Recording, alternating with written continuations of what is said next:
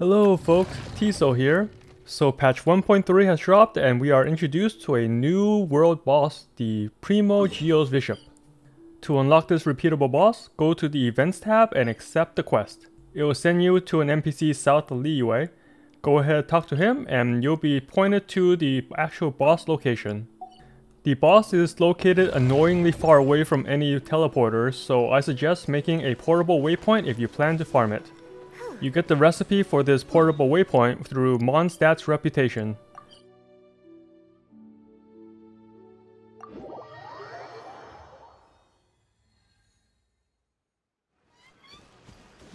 Now that we can reach the boss quickly, let's begin. The most devastating attack from this boss is the Primordial Shower. If left alone, it will do a bunch of damage. To counter this attack, you'll need to have a shield or run far far away. Here's this attack without any mitigation. At world level 7, it does about 8000 damage and it will vary depending on your defense and resistance. The game hints to counter this by using a shield and there are several ways to do so. You can apply an element to the boss and then hit it with Geo to crystallize a shield. The strength of the shield will be dependent on your Geo character's elemental mastery and level. Here's an example of me picking up a Pyro Shield against a water attack. Even with the shield, I still take almost 1200 damage. Now let's look at this attack again, but this time instead of a Pyro Shield, we'll create a Hydro Shield to match the same element as the boss. This time, the matching element shield is able to absorb the entire hit. If the shield doesn't break, the boss is also countered for some damage. You don't need to use Crystallize for the shield either. Any shield in the game works.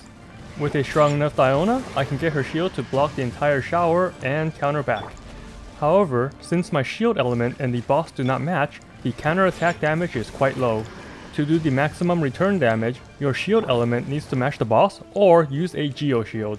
So here's my free to play tip to ignore this attack. Just bring Noelle. Here I'm using a level 20 Noelle against a level 91 boss. When I see the boss ready Primordial Shower, I just switch to Noelle and use her elemental skill. We see her shield is able to absorb the entire attack and counter the boss for good damage. How strong does your Noelle shield need to be? Not that strong at all. Let's take a look at her stats. Her E scales with defense and she only has 627. She also does not have bonus elemental resistance against this boss's element.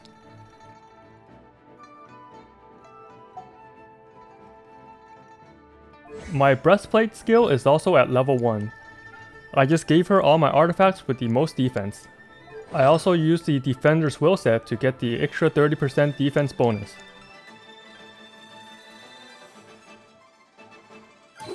Her weapon is a level 60 White Iron Greatsword. This weapon also adds to defense, which will improve her shield strength. So with a very minimally invested Noelle, I'm able to stop the boss's most devastating attack. To summarize, bring a character that can make a shield with the matching element, or bring a Geo character that can make a Geo shield.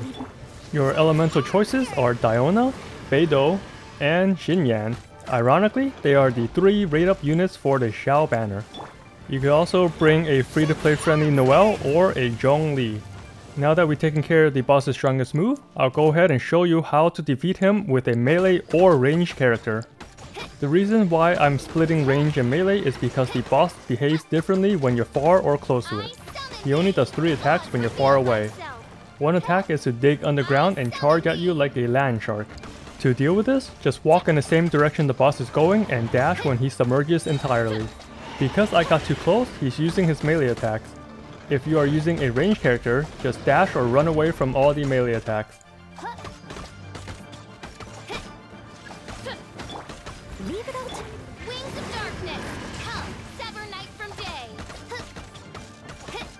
He can also do a small breath attack.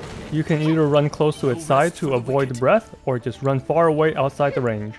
The last range attack is to shoot out his elemental shards. The shards do not hurt you when it lands on the ground, so you don't have to worry about dodging. After it lands, stay away from the shard to avoid the after effects. The shards have different effects depending on the element, but you can avoid them all by just staying away from them entirely. All four elemental shard types ends up doing damage around it, so just stay away and you'll be perfectly fine. From time to time, the boss will also use the Primordial Shower attack. Just activate with your shield with your shield character and keep on attacking. If you're using Beidou, you'll need to time her shield a little better to match the hit. And that's pretty much all the attacks from the range version of this boss. Simply stay away and the boss poses no threat at all.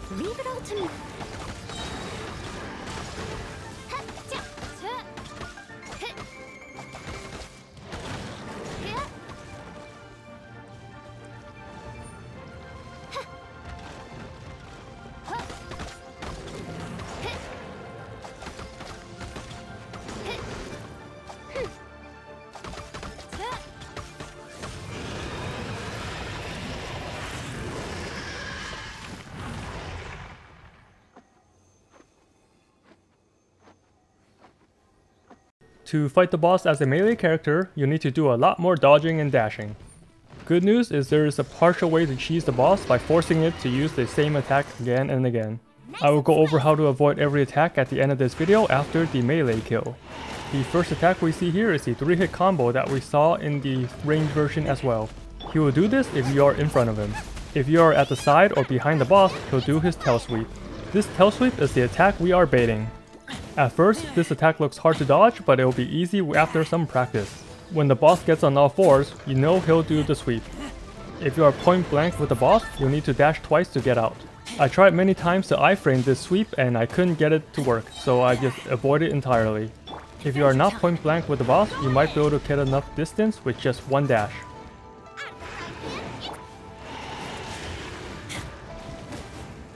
So my trick here is to always be next to or behind the boss to force this attack. It becomes easier to avoid if you are looking for it the entire time.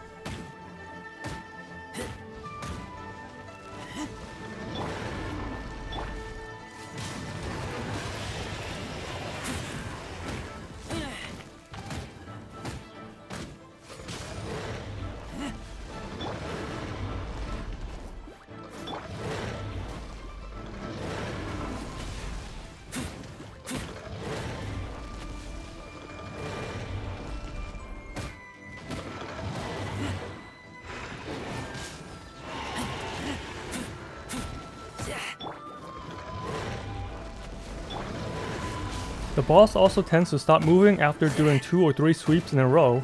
I think there might be an internal cooldown to prevent the boss from sweeping non-stop. You might notice the boss does some other melee attacks once in a while, that's because I was not properly behind or at the side of the boss, while all his frontal attacks can be avoided with iframes. So as a melee character, just stay close to the boss and force him to use the tail sweep. When the boss uses Primordial Shower, I just shield up and continue attacking.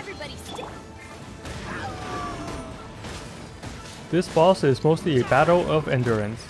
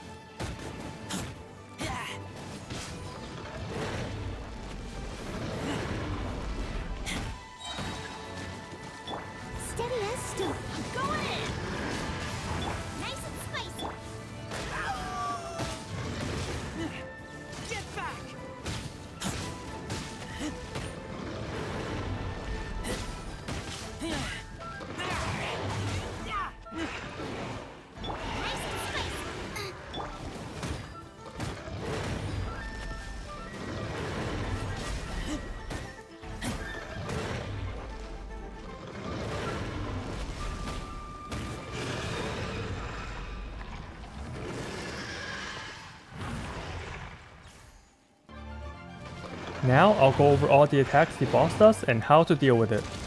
For his 3 hit combo, you can run and dash away to stay out of range, or dash to his side to avoid the follow-up hit. Sometimes, instead of doing all 3 slashes, he only does 1. This 1 or 3 hit string always starts with his right claw.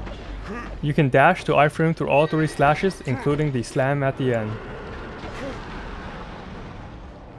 Another attack is the tail sweep. It does this when you are next to or behind the boss. I'm not able to find a way to iframe through the tail sweep, so you need to avoid it by getting far away.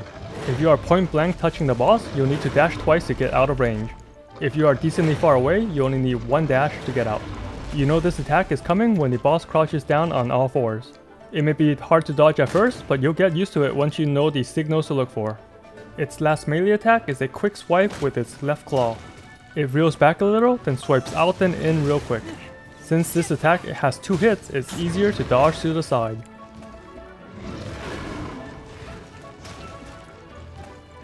For the breath attack, you can either dodge to its side and punish while it's breathing, or run far away enough to avoid the breath entirely.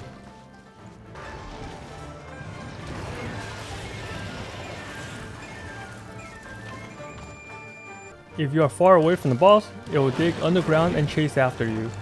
Just casually walk in the same direction the boss is going and then dash once you see it submerge. If it submerges really close or you feel unsafe, you can always just dash twice.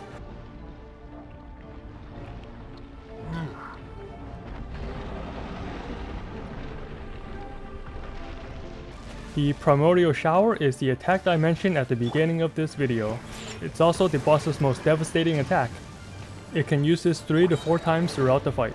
As I mentioned earlier, to counter this attack, you'll need a shield or run far away. Using a Geo Shield or a shield with the same element as the boss will let you counter back with more damage.